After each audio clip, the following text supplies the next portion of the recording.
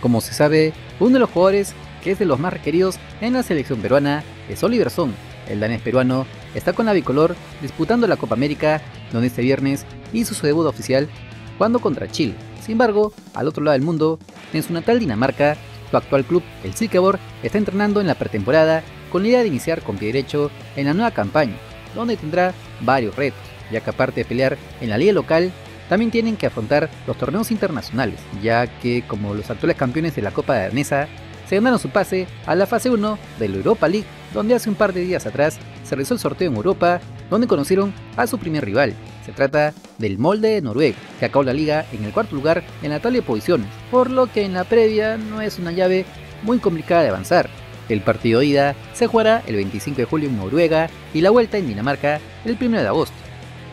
Aunque habría que conocer si el Colorado podrá disputar estos encuentros, ya que, como se sabe, lo están siguiendo de cerca clubes de Turquía, Bélgica y hasta alemanes recién ascendidos a la Bundesliga, por lo que quien te dice sé que no sale vendido en este mercado de pases de medio año, sobre todo si logra cumplir una buena Copa América con la blanquirroja, ya que hasta ahora lo Andy Polo en esa banda derecha ha sido por lo menos insuficiente, y si le sumamos la lesión de Luis Víncula, todo pinta a que el vikingo peruano tendrá más minutos de juego de lo que se tenía pensado en un inicio, y por ende también más vitrina para mostrarse ante los clubes que lo ven intentando con poder ficharlo, por lo que por ahora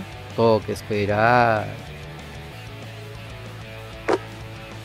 No te olvides que si quieres estar enterado de las últimas novedades de nuestro balompié, solo suscríbete al canal porque somos el canal del fútbol peruano. Si te gustó el video de like, comparte, suscríbete con la campanita. Nos vemos en el siguiente video. ¡Chao!